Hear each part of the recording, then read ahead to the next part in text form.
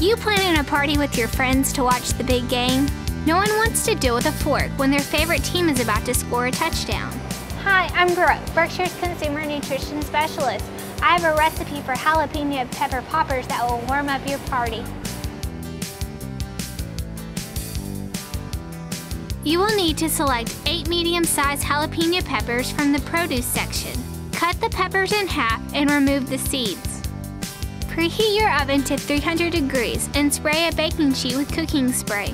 In a large bowl, combine 2 thirds cup shredded Mexican blend cheese, a half a cup shredded mozzarella cheese, and 8 ounces of fat-free cream cheese. This will be a cheesy appetizer, so feel free to use your favorite cheese. Chop green onions, red bell pepper, and 2 garlic cloves. Add chopped vegetables, garlic, and 1 teaspoon cumin to the cheese mixture. Fill each jalapeno pepper with the cheese mixture and place on a baking sheet. Bake the peppers for 25 to 30 minutes. These finger foods will ensure that your guests will not miss the game-winning touchdown.